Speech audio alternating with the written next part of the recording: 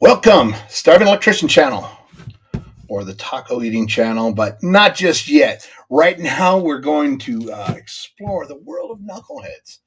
I've got a few of these videos with knuckleheads, but uh, like this one here, just why? Why? Uh, you know, I know you wanted that fan. If you look up there, you could see a little raceway up there for wire to feed that fan.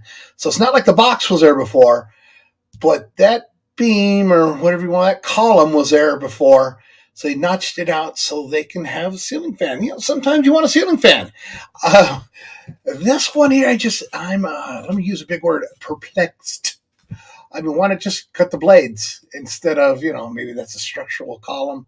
Yeah, I don't know. But then again, you see that track lighting behind there. So I'm sure it's not the Taj Mahal. But then again, I've never been to the Taj Mahal. All right, let's move on to the next knucklehead. Knucklehead number two. But, uh, you know, when you really want a light, I mean, you, you need a light. It looks like he tapped on to a 500 and a 250. It's blue, so I don't, I'd imagine it's a neutral. I don't know. I'm not even concerning myself with phasing tape at this point.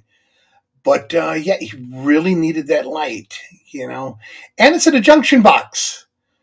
So, man, uh, this cat either has, you know, nuts of steel or uh, no brains, no headaches. So, yeah, I'm going to say this one qualifies for knucklehead for sure.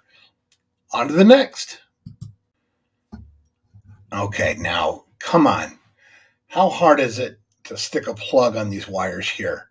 I mean, you went through the effort of, you know, bending each, uh, looks like number 14 put them through the little holes in the extension cord, and even grounded the damn thing.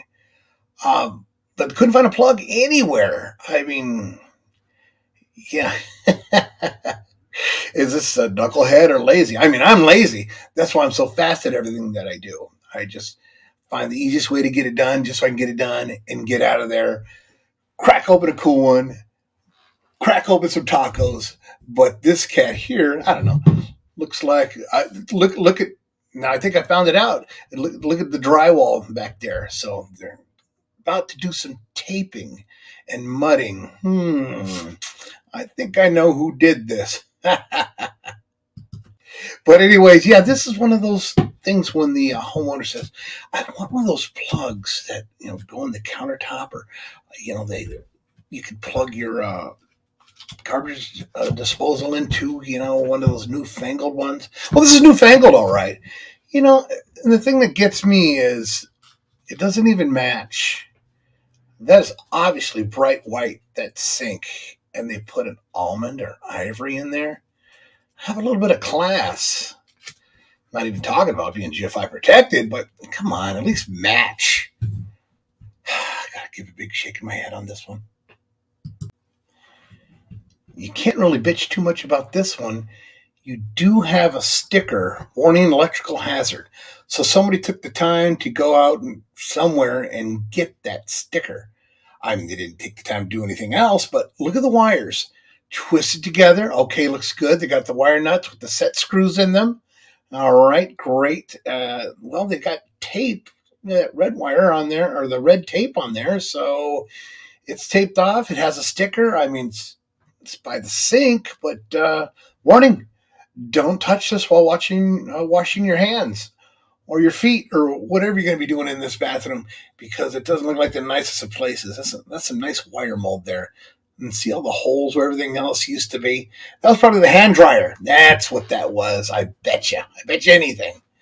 Ah, nice place. Oh, I've probably been there, but uh, now this just looks crazy. I mean, it could have happened in the in the meter can. I mean, if I were to venture to guess, I'd say so. Uh, the wires look a little bit melted back on the uh, the line side. Uh, who's to say? But uh, if a fire got that hot and uh, scorched the uh, the inside of the meter like that one, I'd say that the house or whatever it is pretty much burnt to the ground. That's crazy looking. Okay, I just want you to take a good look at this one.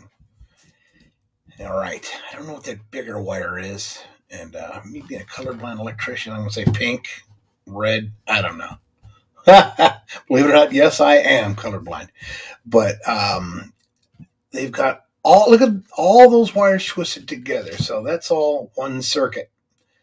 All of it. Um, you know, how do you even get a wire nut on that? I, I've seen this so many times. Never mind the connectors, just somebody slopping it together. It's crazy. And I could see that that's in an attic. So Uncle Johnny came over and they said, Hey, we'll buy you some beer. And then uh, old Uncle Johnny started on the beer before he got in there. I did electrical. You know, back, uh, you know, in Vietnam, we used to put together some stuff over there. And, uh, oh, yeah, I can handle it. You know, then I bet he fell through the roof too. So, or the ceiling. You'd have to pop up to the roof. But I mean, that is just crazy looking. That's just somebody is slopping it in and tied that together because there's no wire nuts that can fit on those wires. Look at how janky that is. I bet it. Oh, I can see the black tape. See, this is called evidence. See the electrical tape? So they just tape those together. That's a nice little code violation you got there, Uncle Johnny. Now, answer me this Are the jumper cables powering the panel, or is the panel powering the jumper cables? Well, looks like it's a used to be a meter can. They pulled it out because they got tired of them rigging it to get free electricity. That's what I would say. And so that looks like the line side, but who's to say? There's jumper cables. Um, it's 240 volt. I don't see a neutral though. So I don't know what they're doing for that. You know what, what they're doing? Uh, probably using the, the ground as a neutral, right? Since we're not jumping it over from the source, and since the grounds are tied in with the neutrals at the service end of it, so now all those grounds are energized or what have you when you have a load on there. And uh, yeah, the ground rod and, you know, the fence or whatever else it's touching, you know. But uh, resourceful, man. You, could do this or, I don't know, maybe pay your bills or something. Or, I, I don't know, or tap some more other wires on there. And but the other thing that gets me too, it's on the outside of the can. How are you going to shut the can now? You, you're trying to steal and you can't shut the can. They drive by, they're going to see it, man. You got to be slick. Maybe uh, you know, put a curtain around it so you see no see you can't see what's going on behind that magic curtain, like uh, the Wizard of Oz back there. But uh, yeah, and you know what else? Some of those breaker brands aren't matching either. Oh, the nerve. Look at the doubled up wires on uh, some of the breakers too. So I bet half the service went out and they just uh, moved breakers around uh, to get their circuits working. Believe it or not, I've seen this too. Isn't that crazy? 30 something years in the trade and uh, you see this. Yeah, it's insane what people take chances on in uh, their house and their livelihood, their, you know, all their stuff, their kids sleeping. And, you know, even if you don't have kids, your wife, you know, or maybe you like it that way. I'm just saying, not me.